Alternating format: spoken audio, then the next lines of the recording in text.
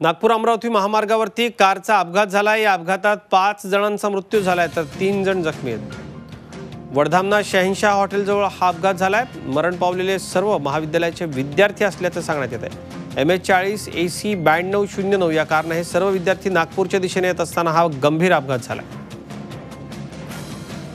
अत्यंत दुःखद अशी बातमी आहे. पाच जण ठार झालेत. हे पाचही जण विद्यार्थी असल्याचं सांगण्यात येतं आहे कॉलेजच्या पाच विद्यार्थ्यांचा या अपघातामध्ये मृत्यू झाल्याचं कळतं आहे नागपूरच्या दिशेनं अमरावतीहून नागपूरच्या दिशेनं हे विद्यार्थी येत होते. दरम्यान या संपूर्ण अपघाताचं कारण काय हे अजून कळू शकलेलं नाही.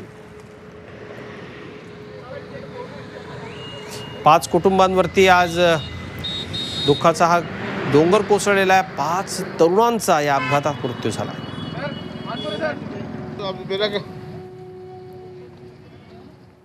झी चोवीस तास. रहा एक पाऊल पुढे.